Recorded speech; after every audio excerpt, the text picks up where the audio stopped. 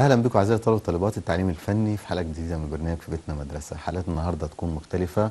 إحنا النهارده بنتكلم عن حاجة مهمة جدا لتخصصاتنا وبنتكلم كمان عن المواد التخصصية بتاعتنا لكل تخصص. بالنسبة لنا طبعا إحنا النهارده هنتكلم عن آه، التعليم الصناعي تخصص نسيج وطبعا آه، هيكون معانا طبعا الطلبة الخاصة اللي داخلة السنة دي الصف الأول. آه، طلبة الصف الأول لسه ما حدش فيهم عارف كتير جدا عن تخصص النسيج لكن لازم يكون عندنا فكرة عن المواد الدراسية اللي إحنا هندرسها في التخصص ده. إحنا عندنا مجموعة مواد دراسية هندرسها على مدار السنة يمكن طبعا من ضمن ال- العام الدراسي بتاعي إحنا عارفين الصف الأول أو صفوف النقل عموما عندنا فيها نظام الترم يعني فيها جزء مقطوع من المنهج بمتحن عليه وبكمل في الجزء الثاني من السنة بقيه المنهج بتاعي وبرضه بمتحن عليه مرة ثانية يعني نتكلم كل الكلام ده بالتفصيل لكن بعد ما نتكلم عن تخصص النسيج عموما. تخصص النسيج أو تخصص الصناعات النسيجيه هو مش تخصص واحد بس بالنسبة لنا وإحنا في المدرسة هندرس تخصص واحد. طب هو كم تخصص؟ هو حوالي ثلاث تخصصات أساسية بتكمل بعضها ورا بعض. في تخصصين تانيين يتبعوا في الشكل وفي المضمون التخصصات النسيجيه لكن هم منفصلين في آه، إدارتهم بالنسبة للقطاع وبالنسبة كمان للتوجيه الفني تحت في المدارس والمدرسين كمان. لكن عشان نبقى فاهمين أو عارفين يعني إيه صناعات نسيجيه يعني أي صناعة داخل فيها ال- القماش في ال- التصنيع بتاعها أو داخل فيها الخيوط. طبعا إحنا عارفين إن بداية الصناعة بتاعتنا بتبدأ من إنتاج الخيوط وإنتاج الخيوط بيتم في صناعة اسمها صناعة الغزل. وطبعا صناعة الغزل دي بتعتمد على إن هي بجيب لها شعيرات تنفع إن هي تتعمل خيوط. وعشان أوصل لل- للمرحلة الشعيرات اللي تنفع تتعمل خيوط دي لازم ليها مواصفات والمواصفات دي مواصفات فنية لازم نكون فاهمينها وعارفينها كمان وهنتكلم فيها مع بعض. بعد صناعة الغزل دي بتنقل على صناعة النسيج أو التجهيز. يا إما أطلع على النسيج يا إما أطلع على التجهيز. وفي حالة لو أنا طلعت على التجهيز يبقى أنا هعمل تجهيز للخيوط مش هعمل أي تجهيز تاني لأن أنا ما عنديش أي حاجة لسه.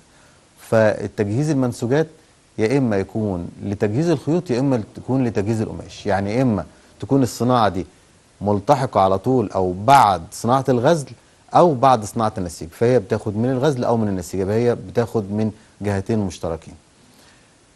الصناعة دي بلون فيها أو بجهز فيها الخيوط بالشكل المطلوب أو بجهز فيها القماش بالشكل المطلوب. وبالتالي زي ما قلنا ممكن تنفع بعد النسيج. طيب لو هي هتنفع بعد النسيج يبقى النسيج فيه إيه؟ النسيج فيه تحويل الخيوط اللي اتعملت في صناعة الغزل دي أو اللي جات لي من التجهيز ملونة تحويلها لقماش.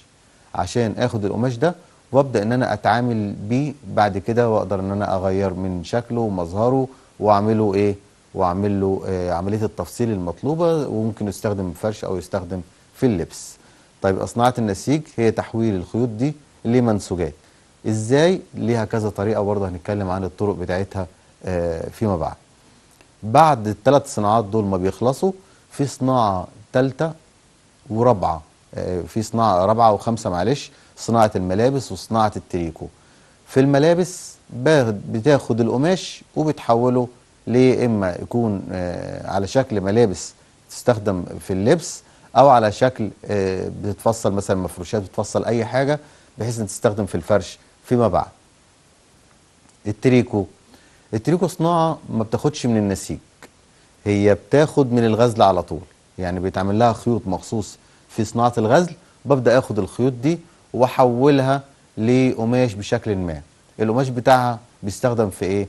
بيستخدم في عمل بلوفرات عمل الملابس الداخلية اللي هي ال- القطنية اللي هي زي الملابس اللي هي ال- ال- ال- القطن اللي هي بتتلبس على الجسم مباشر.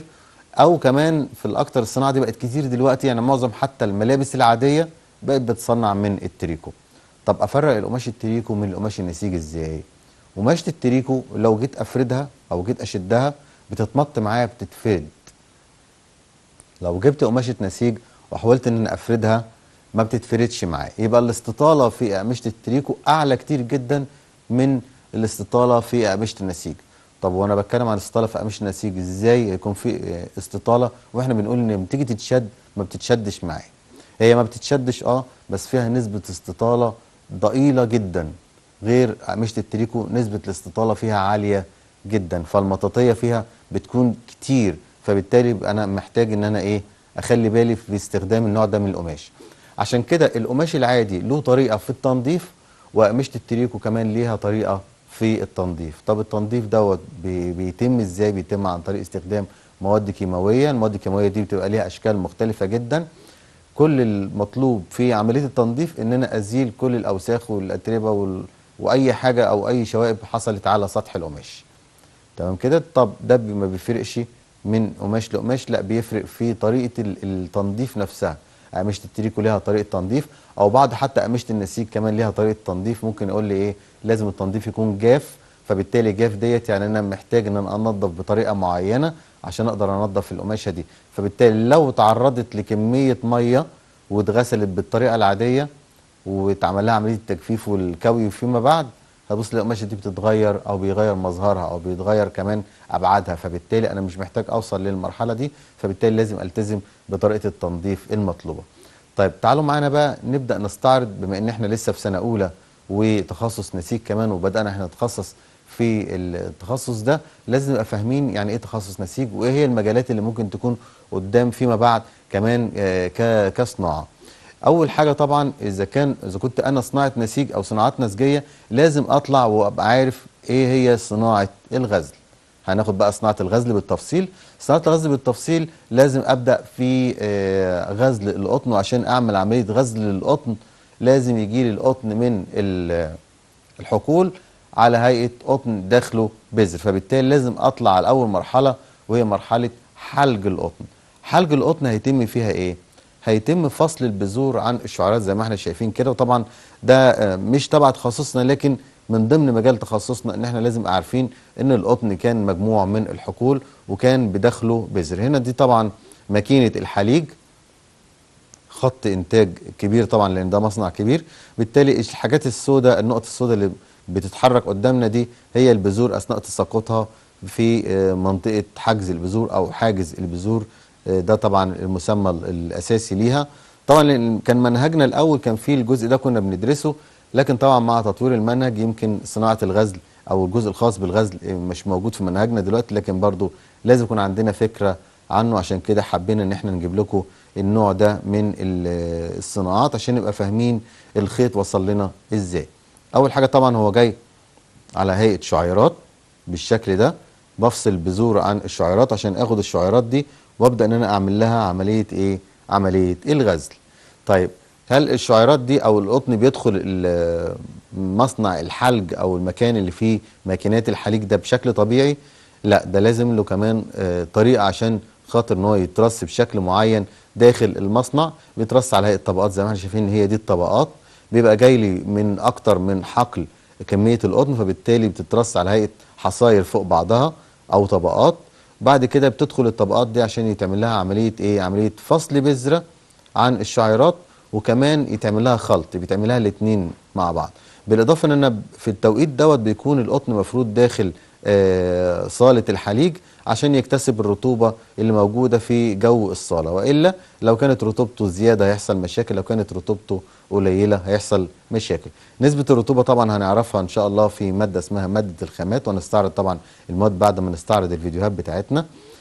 هنا طبعا بيدخل آه، القطن بالشكل ده ويوصل ليه ماكينات الحليج بالوضع ده عن طريق طبعا مواسير وعن طريق ال- السيور والحصائر نقل بيوصل بعد كده بيتعمل له عملية فصل البذور عن الشعيرات وبيتجمع الشعيرات في مكان تاني عشان خاطر إن أنا أبدأ إن أنا أعمل له عملية الإيه؟ الحل ال- ال- الغزل بالشكل المطلوب. هنا طبعا دي ده شكل الماكينات والماكينات طبعا عشان ده خط إنتاج كبير فبالتالي الماكينات سريعة جدا. فبالتالي طبعا بعد ما جمعت القطن ده بيتجمع على هيئة بلات بتضغط البلات وبتتنقل بعد كده للمصنع التالي وبيكون هو مصنع إيه؟ مصنع الغزل هنا طبعا هنشوف عمليات نقل القطن عن طريق المواسير. طبعا بما إن ده خط إنتاج ضخم فبالتالي عملية النقل بتكون مختلفة. هنا هنلاحظ إن هنا حصائر نقل القطن بالشكل ده بعد ما يتم تفتيحه بينقله عن طريق الحصائر اللي موجوده في خط الإنتاج وبتروح على الماكينات عشان يقوم بعملية فصل البذور عن الشعيرات كده إحنا عرفنا عملية الحلج بتتم إزاي. وفهمنا كمان إن الشعيرات أساسا بيجي عليها بذر. طب وهل كل اللي بنستخدمه كخامات تصلح للنسيج بتتم آه، أو بتيجي بالشكل ده بيجي عليها بذر؟ هقول لك لا مش كل الخامات بتيجي بالشكل ده. هنا طبعا إحنا شايفين عملية النقل وعملية حركة الشعيرات ال- المختلطة بالبذور أثناء دخولها للماكينة عشان يتم عملية الفصل وفي النهاية طبعا مواسير ال- ال- العلوية اللي فوق دي بتبدأ تعمل عملية شفط للأقطان اللي تم ال- الشعرات المتبقية من عملية الحريق عشان يجمعها زي ما قلنا في ال- الجزء اللي هيتم فيه آه، تجميع أو ضغط البلات عشان تتنقل بيها للمرحلة الثانية وهي تكون مرحلة الغزل. طيب زي ما قلنا في من شوية كده هو كل الخامات الخاصة بعملية النسيج لازم يكون فيها بذر يعني هو كل الخامات لازم تدخل على عملية الحريق. هقول لك لا بس أشهر خامة عندي وأكتر خامة استخدام وأفضل خامة في عملية النسيج وعملية الاستخدام فيما بعد النسيج هتكون هي إيه؟ هتكون هي الأقطان. طيب لو أنا جبت مثلا آه، خامة زي خامة الكتان تشبه القطن بس ما فيهاش بذر وليها طريقة للاستخلاص. يعني أنا عشان أنا أجيبها من ال- ال- الحقل ليها طريقة اسمها أو بتمر على طريقة تعطين عشان يفصل الشعيرات ديت عن اللحاء اللي هي موجودة فيه أو العود اللي بتبقى شبه بالظبط شبه عود القصب.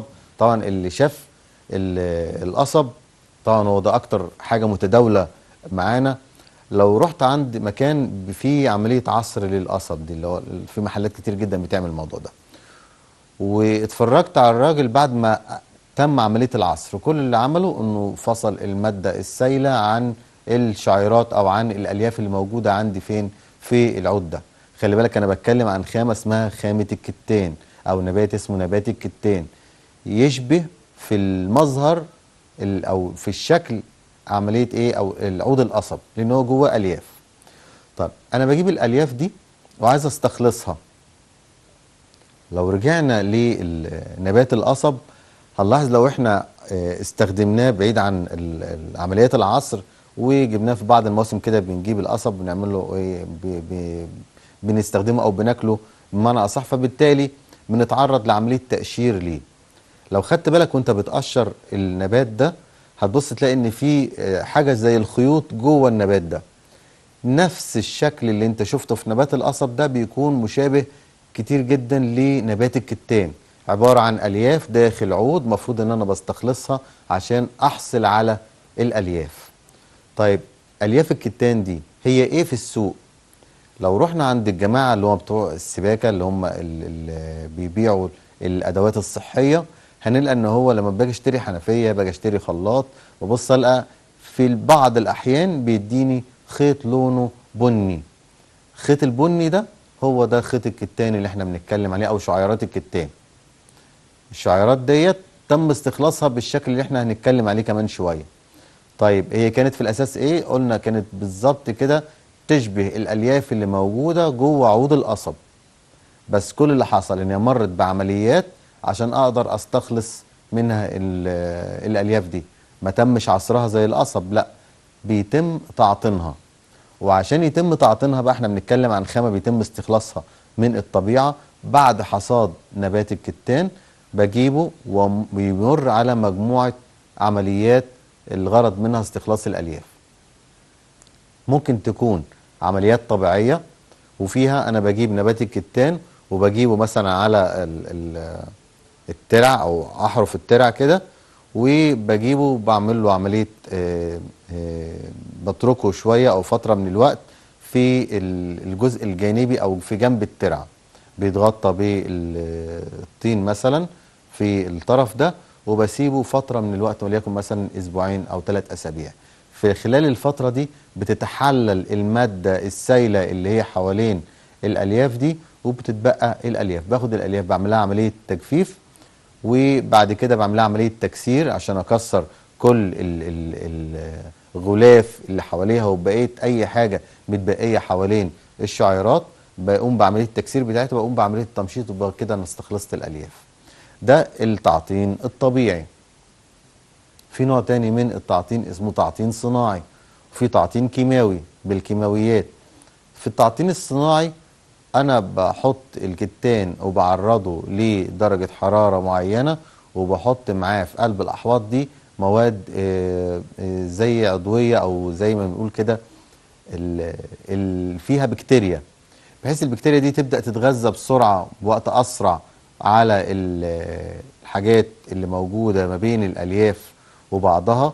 طبعا المواد دي كلها بتبدأ إن هي تاكلها أو تتغذى عليها وبيبقى لي في النهاية الشعيرات الطرق الكيماوية ودي طبعا بتكون صعبة شوية إن أنا بعرض الألياف نفسها أو بعرض العيدان دي لمواد كيماوية عشان أحصل في النهاية برضو على الألياف بحيث أدوب الأجزاء اللي هي حوالين الألياف وآخد الألياف في النهاية. الفرق ما بين كل طريقة والتانية وطبعا الجزء ده هندرسه في الخامات بشكل مفصل وبشكل أوضح كمان. إحنا ممكن نقول أمثلة كده مش بنقول بدقة إيه اللي بيحصل لكن بنحاول نتكلم عن نوع من أنواع الألياف الموجودة عندنا السنة دي. فبالتالي في مادة الخامات هنبدأ نتكلم عن الجزء ده. في النهاية أول ما استخلصت الألياف بتمر بعد كده بعمليات الايه الغزل المطلوبة بحيث أوصل في النهاية للفتلة المطلوبة بالمواصفات المطلوبة. بس يمكن الشعيرات نفسها الخاصة بالنبات ده بتكون أطول كتير من القطن ومواصفاتها برضو آه، أفضل شوية من القطن. لكن في ال- القطن له ميزة مهمة جدا وهو نعومته يمكن ال- الكتان خشن شوية. ال- بقية الخامات بتاعتنا اللي هندرسها السنة دي أنا عندي برضو الصوف والصوف طبعا إحنا عارفين إنه بيتم آه، بي- بيتم جمعه أو بيجي أو مصدره الأساسي هو الشعيرات اللي بتنمو على ظهر ال- ال- الخراف فبالتالي الصوف من الأغنام فبالتالي عارفين إن هو بيتجمع من آه، حيوان والحيوان دوت له طريقة في تربيته كمان له طريقة في عملية جز الشعيرات دي من على جسمه. في في أنواع كتيرة جدا من الأصواف وده برضه هندرسها في ماده الخامات. بعد كده بقى في الترم الثاني أو في الجزء الثاني من منهجنا عندنا الألياف الصناعية والألياف التركيبية. الألياف الصناعية ليها آه، مكونات وليها مواصفات والالياف التركيبية ليها برضه مكونات ومواصفات يمكن التركيبية ليها أصل طبيعي يعني جاية من خامة طبيعية في الأساس. كده إحنا اتكلمنا عن مادة اسمها مادة الخامات بندرسها في قسم النسيج وفي قسم الغزل كمان. وفي بقية الأقسام الخاصة بالصناعات النسيجيه يمكن المادة دي من المواد المهمة اللي أنا بعرف بيها كل الخامات النسيجيه اللي عندي. ده بالنسبة للجزء الخاص بالخامات كلها. أنا هنا جمعت الخامات بعرضها للغزل. عملية غزل ال- القطن طبعا تشبه شوية بقية عمليات الغزل لبقيه الخامات لكن الغزل القطن هي ال- ال- الطريقة الخاصة أو الغزل الخاص لشعيرات معين هنا طبعا إحنا شايفين آه، هنا خط إنتاج آه، الخيوط. بيبدأ بعمليات آه، تجميع الشعيرات بالشكل ده. هنا بجمع الشعيرات على هيئة طبعا هي جاية لي في المصنع هنا على هيئة بلات. بجهز البلات ديت عشان أو بعملية آه، فكها. بتتم عملية التفتيح بتاعتها. بتمر على خط اسمه تفتيح وتنظيف. بيحاول يفكك الشعيرات دي من بعضها. وكمان بيشيل جميع الشوائب اللي موجودة أو متبقية في الشعيرات من وقت الايه؟ ال- عملية الحلق فبالتالي الشعيرات هنا اتفككت كل الأتربة اتفككت وكمان آه، بقت جاهزة لعملية الغزل. فعملية الغزل ببدأ بعمليات مهمة جدا وهي عملية التسريح أو الكرد. في التسريح دي طبعا دي ماكينات تسريح بيتم فك الشعيرات ورصها بشكل متوازي جنب بعضها ما بين طبعا اللي بيساعد على عملية الفرد دي الجزء الخاص ما بين الجرايد وما بين السلندر الكبير. بنتنقل بعد كده لعمليات السحب. هنا طبعا دي ماكينة سحب.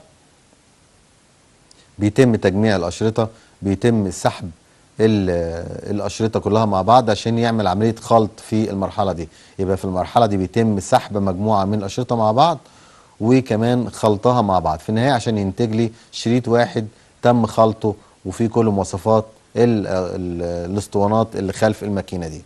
بعد عملية السحب دي بيمر الشريط باخد شريط واحد بقى وبيمر على آه، ماكينة اسمها ماكينة البرم. يبقى ماكينة السحب بتسحب الأشرطة وتخلطها. وفي الناتج النهائي بيكون إيه؟ بيكون شريط واحد بس. باخد الأشرطة دي وبركبها آه خلف ماكينة البرم. وماكينة البرم دي بتقلل سمك الشريط وكمان بتديله مجموعة من البرامات البسيطة. بحاول أوصل شوية للسمك المطلوب عندي في آه عمليات الغزل لكن طبعا مش بوصل للسمك النهائي. أنا بس بحاول أقلل السمك وأثناء عملية الإيه؟ عملية البرم. أنا هنا عملت تقليل للسمك عن طريق عملية السحب اللي موجودة في ماكينة البرم. وجهزت المبروم بتاعي وهنا بقى الشعيرات اسمها مبروم. كانت شاشة في اسمها شاشة في عملية الكرد وكانت اسمها شريط في عملية السحب وهنا اسمها مبروم في عملية البرم. هنا دي طبعا البكرات اللي تم لف المبروم عليها.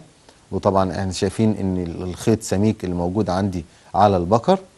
بروح أركب البكر دي على حامل في ماكينة الغزل. بسحب المبروم وبمرره على الأجزاء المطلوبة أو المفروض إنه يمر عليها في ماكينة الغزل وهو جهاز السحب وكمان جهاز إعطاء البرامات أو الغزل زي ما إحنا هنسميه.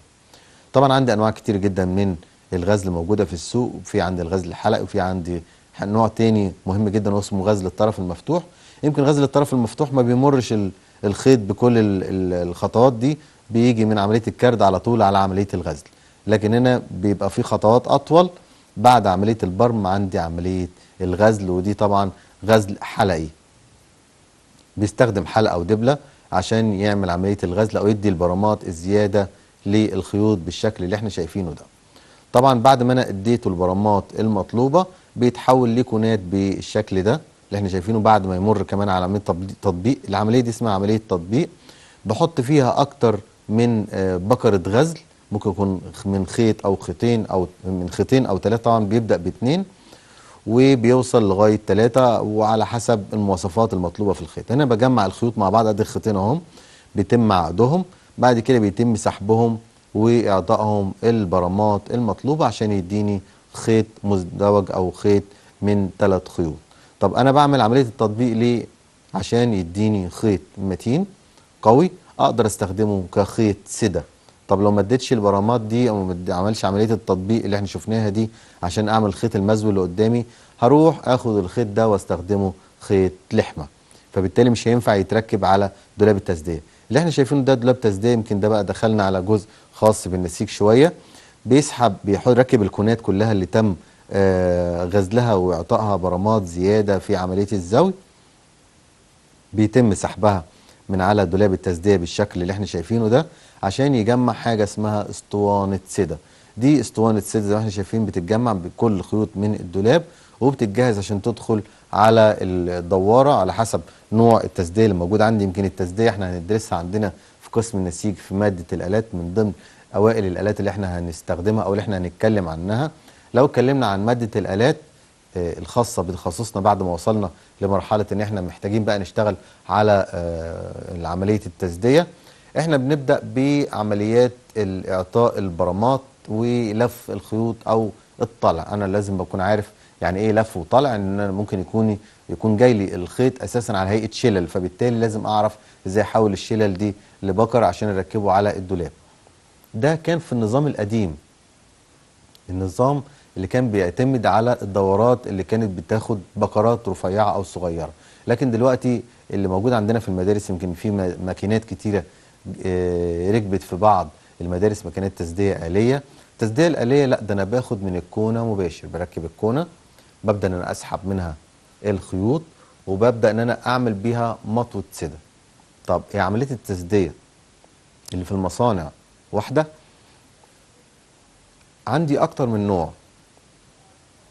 الأنواع بتاعتي بتختلف على حسب ال ال الماكينات اللي هتشتغل بعد كده أو على حسب طريقة التسديه نفسها الخيوط اللي هتتلف دي نوعها إيه أو شكلها إيه أو مواصفاتها إيه.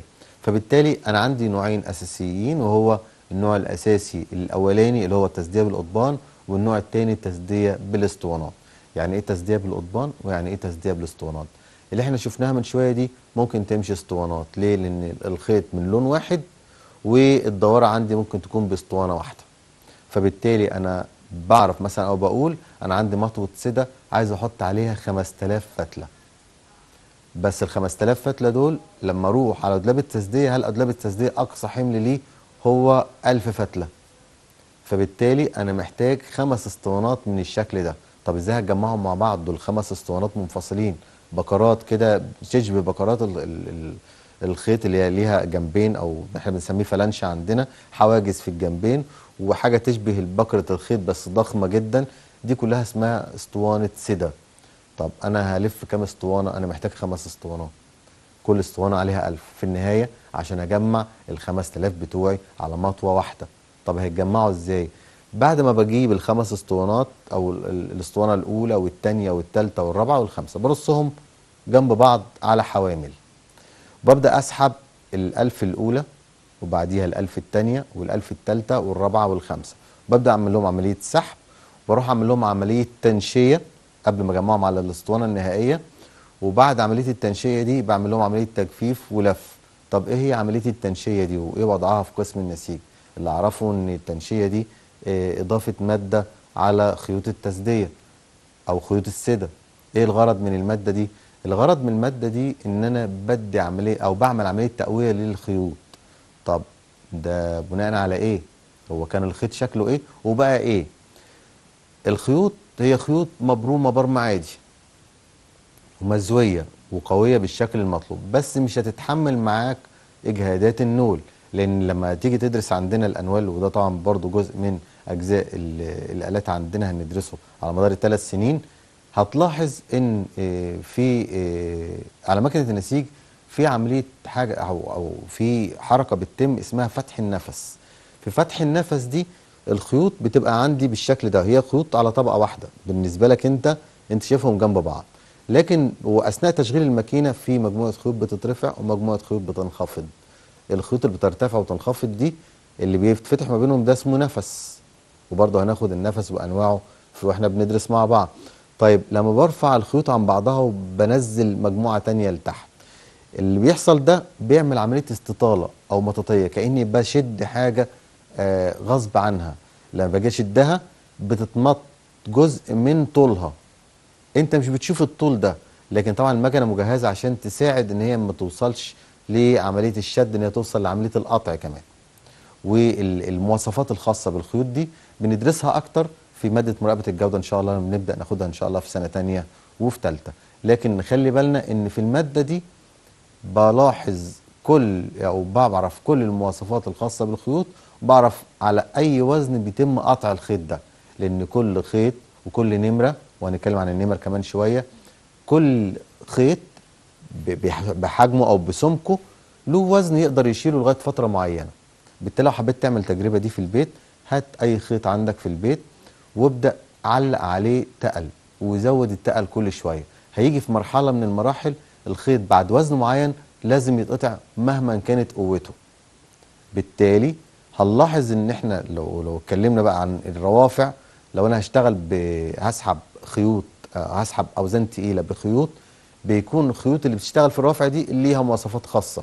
بالتالي ما أقدرش أحمل عليها أوزان أكتر من الوزن اللي هي بتشيله. لأن بعد فترة من التشغيل بيحصل لها من الاحتكاك بتاعها وحركتها بيحصل لها عملية آه، تهالك فبالتالي بتتقطع نهائيا عشان كده لو شفت لو بصيت حتى على ال- الحبال السميكة اللي بيتم استخدامها في رفع حاجات بسيطة بص بعد فترة بتتآكل وبيتم آه، قطعها لوحدها. طيب هنا بقى إحنا بنتكلم عن آه، خيوط. بتتحمل اجهادات معينة الاجهادات ديت محتاج ان أنا إيه اتعلمها أو اعرف هي بتيجي منين الأول أو حتى وأنا بجهز المكنة بتاعتي بجهزها إزاي. تعالوا نشوف إزاي في صناعة النسيج بجهز مكنة النسيج لعملية الايه عملية النسيج نفسها. هنا هنطلع على عملية التسديه اللي إحنا اتكلمنا عليها وقلنا ان فيها نوعين فيها تسديه بالاسطوانات وتسدية بالقضبان. هنا دي تسدية القضبان. إحنا من شوية شفنا الدولاب وهنا طبعا شايفين مجموعة من الإقلام قدامنا كده مرصوصة على دوارة كبيرة. الدوارة دي طبعا ما بتركبش على مكنة النسيج. ده في مطوة سدة بتكون خلفها. بعد ما أنا بلف كمية الخيط المطلوبة على الدوارة دي ببدأ أنقل الخيط من عليها والفه على مطوة السدة اللي موجودة في الخلف وباخد الخيط في النهاية. طب الدوارة دي هنا شغلتها إيه؟ شغلتها رص القضبان بالشكل اللي إحنا شايفينه ده. طيب وهي بترص القضبان هي بتبقى الكمية القليلة اللي موجودة قدامي دي هي دي اللي تعمل لها عملية النسيج؟ لا. ده ممكن يكون بس دي عينات بتتعمل أو بتتجهز لنول يدوي لأن طبعا لو نول آلي بيكون كمية الخيوط الملفوفه على الدوارة أكتر من كده. يمكن الأنوال نفسها اللي عندنا بتعمل كميات كبيرة طبعا بالنسبة للتطور اللي حاصل معانا دلوقتي في النوع ده من الصناعات. هنطلع بعد عملية التسدية دي أنا خلاص لفيت الخيط بتاعي على مطاوي السده وأروح أعمل له عملية لقي وتطريح وتقديم. هنا طبعا نشوف مثال يدوي. هنا طبعا ده الجزء اللي إحنا شايفينه ده طبعا مسرعينه عشان يعمل كل العمليات مع بعض. هنا طبعا اللي بيتم دلوقتي ده بيتم عملية لقي الخيوط في عيون النير واللي قدامنا ده اسمه درق. وهناخد المسمى ده وهنعرفه بالتفصيل معانا وإحنا بندرس السنة دي. هنا بيتم عملية اللقي بالشكل ده. بيدخل خيوط السده في عيون النير. يمكن النير هنا ده نير مصنوع من الخيوط. هنلاقي طبعا في أنواع عندنا كتيرة في النير. طبعا النير بيشتغل على مكن آلي بيكون من الأسلاك وأنواع الأسلاك دي مختلفة ولها أشكال مختلفة حسب نوع الدرق والماكينات. هنا طبعا بيتم عملية اللقي بيدخل الخيوط كلها في الدرقات. عدد الدرقات له عندي وصف أو له طريقة. مش أي عدد بيبقى موجود على المكنة وخلاص. هنا طبعا بيتم عملية التطريح وفي التطريح ده بيدخل الخيوط اللي تم لقيها في أبواب المشط برضو بترتيب معين وبطريقة معينة. ممكن الباب بتاعي بيكون فيه فتلة أو فتلتين أو ثلاثة أو على حسب عملية التطريح المطلوبة. هنا طبعا بيبدأ يشد أو يسحب الخيوط بتاعتي بيشدها عندي على مطوة اسمها مطوة القماش قدام وبعد كده بيقوم بعملية إيه؟ بعملية النسج زي ما إحنا شفنا من شوية. هنا طبعا في عملية النسج بيتم فتح النفس بالشكل المطلوب. هنا طبعا بيجهز خلاص بيبدأ يفتح النفس بتاعه عشان يمرر الخيط بتاع السده واللحمة بين خيوط السده وتتم عملية النسيج. عملية النسيج في الأساس ليها أساس في عملية التنفيذ وهي فتح النفس. فتح النفس بتاعي بيكون بشكل مهم جدا. هنا هنشوف عملية النسيج هتتم إزاي.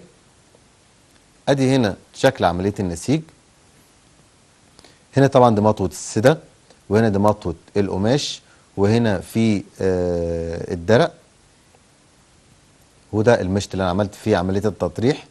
بيرجع المشط للخلف بيفتح النفس. خلي بالنا هنا الخيوط البيضاء اللي أعلى والخيوط الحمراء الاسفل بيمر خيط اللحمة. بيتم ضم خيط اللحمة للخيوط السابقة وبيتساوى الدرق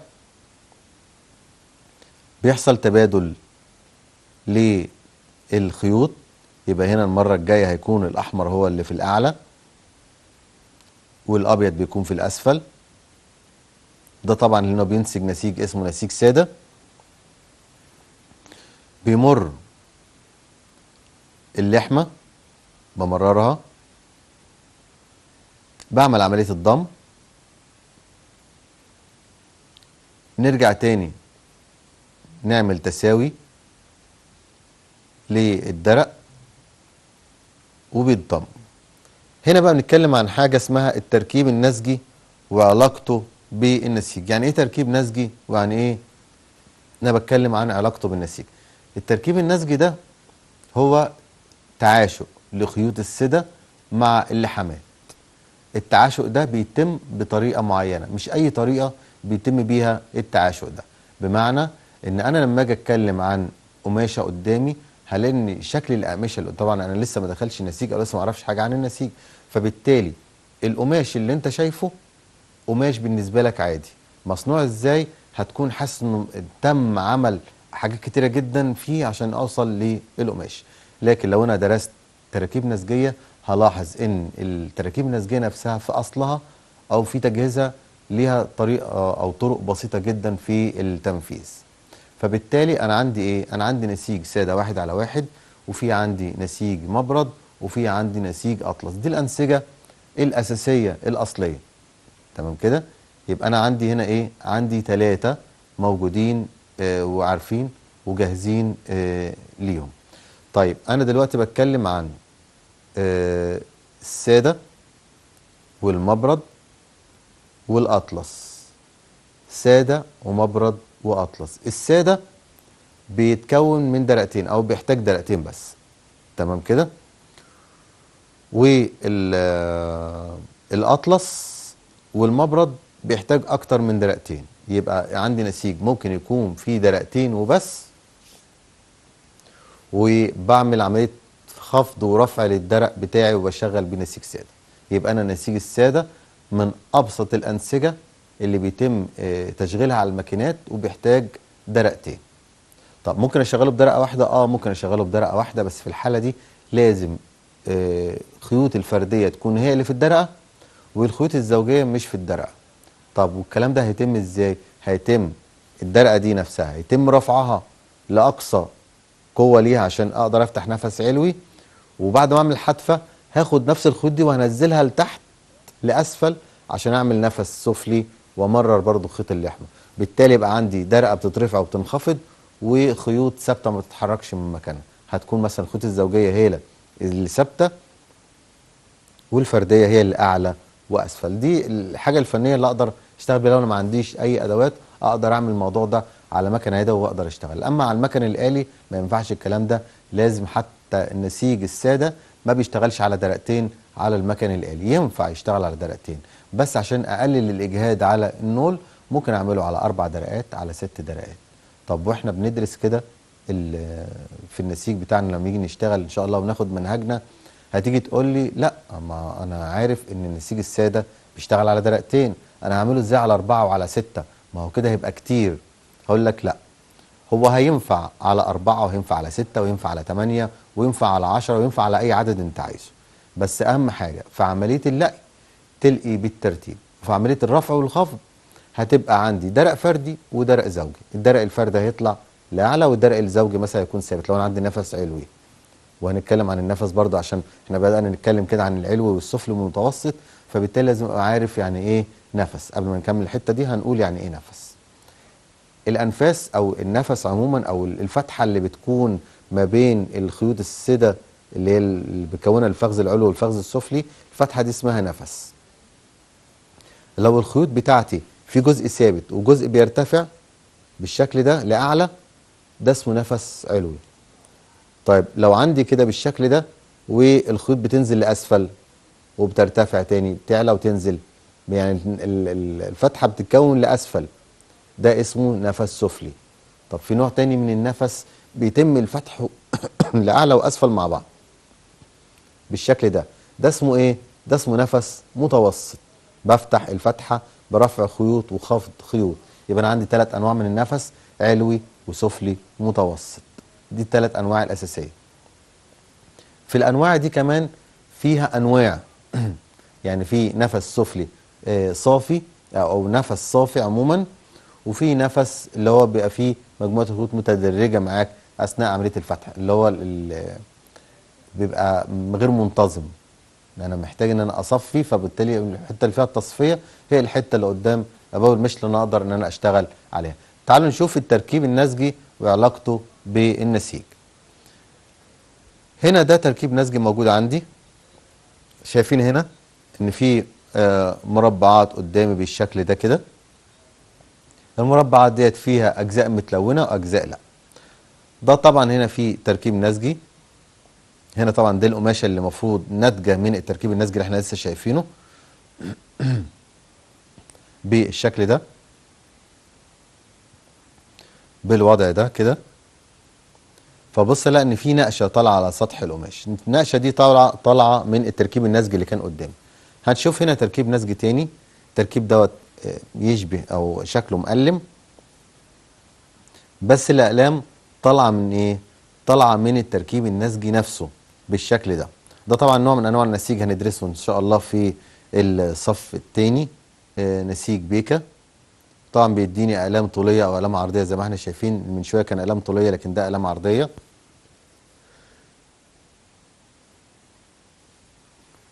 ده شكل التركيب النسجي وده شكل القماشة أو ال- ال- الخيوط نفسها على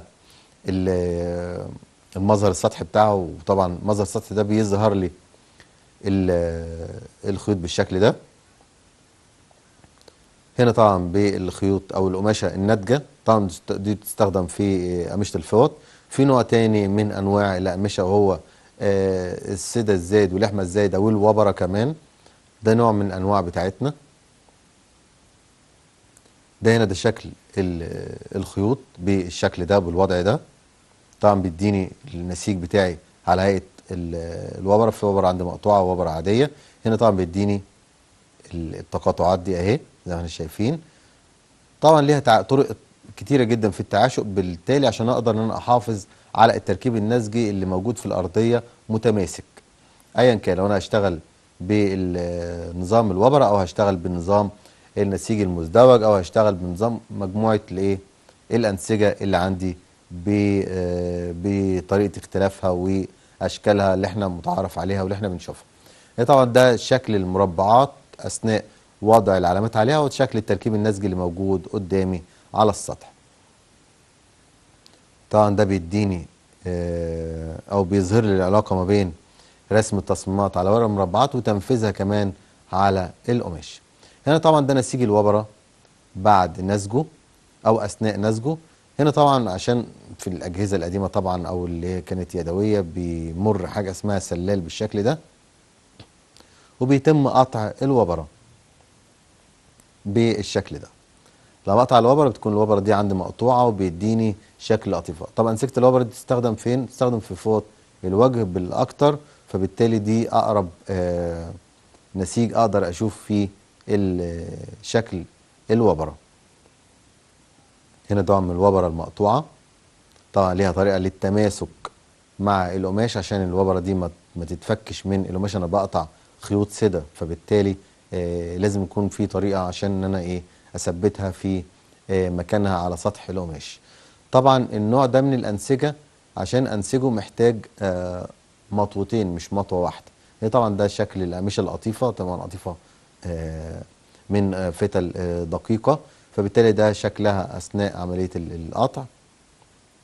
وهي موجودة على ال- القماش. هي طبعا ده نوع تاني من أنواع الأنسجة الوبرة بتطلع النسيجين مع بعض ويتم قصهم من المنتصف بس طبعا تكون عملية صعبة على الماكينات أشكال كتيرة جدا بقدر أوصل بيها لتغيير مظهر السطح عندي عشان أوصل بالمظهر بتاع القماش للشكل المطلوب. ده طبعا شكل القماشة اللي هي القطيفة أو الوبرة. وهي طبعا من أنواع الأنسجة المشهورة عندي أو المنتشرة بشكل كبير جدا. طبعا هنا في أنسجة عليها رسومات طبعا في منها المطبوع وفي منها المنسوج وفي منها اللي تم آه، نسجه بطرق معينة عشان يوصل للمظهر اللي قدامي بالشكل اللي إحنا شايفينه ده. إحنا هنا بنتكلم عن آه، صناعة مهمة بالشكل ده فوصلنا للمظهر اللي إحنا شايفينه ده وقدرنا إن إحنا نعمل رسومات كمان على سطح القماش. يبقى في عملية النسيج أو في صناعة النسيج بتاعتي هبص ألاقي إن أنا أقدر أعمل بيها حاجات كتيرة جدا وأعمل أشكال كتيرة جدا على سطح القماش. يبقى الغرض من صناعة النسيج إن أنا أعمل أقمشة أو أنتج أقمشة بمظاهر آه، سطحي أو سطحها عليه رسومات مختلفة رسومات آه، جميلة أقدر أستخدمها كملابس أقدر أستخدمها في الفرش. كمان أقدر أستخدمها كمعلقات. يبقى أنا محتاج إن أنا أشتغل آه، أو أعمل تصميماتي الأول على المربعات وده طبعا هندرسه مع بعض في آه، مادة الرسم الفني يبقى أنا من ضمن المواد اللي عندي كمان اللي أنا هشتغل عليها مادة الرسم الفني يبقى أنا هنا عندي مادة الخامات مادة الرسم الفني مادة التراكيب النسجية ومادة التراقيم وكمان الآلات وكمان معايا آه، مادة الأمن الصناعي. يبقى أنا كده بتكلم عن ست مواد فنية موجودة عندي بخلاف العملي. يعني أنا كمان عندي مادة عملي كمان مش آه، مش باخد الجزء النظري بس في قلب ال- الفصل لكن ده أنا كمان بطبق الكلام ده عملي تحت عندي في الورشة. طيب لو اتكلمنا عن مادة التراقيم في مادة التراقيم أنا بدرس فيها كل ال- المواد ال- أو كل الحسابات الخاصة بسمك ونمر الخيوط عندي. مادة الخامات زي ما اتكلمنا عليها من شوية قلنا بتعرفني بكل الخامات اللي بستخدمها في الصناعة بتاعتي. مادة تراكيب نسجية اللي إحنا لسه شايفين الأمثلة بتاعتها من شوية اللي هي بتديني ال- ال- الرسم على المربعات اللي أنا ببدأ أحوله بعد كده لتصميمات على سطح القماش وببدأ إن أنا أوصل بيها للشكل المطلوب اللي إحنا شفناه دلوقتي من الأنسجة بتاعتي.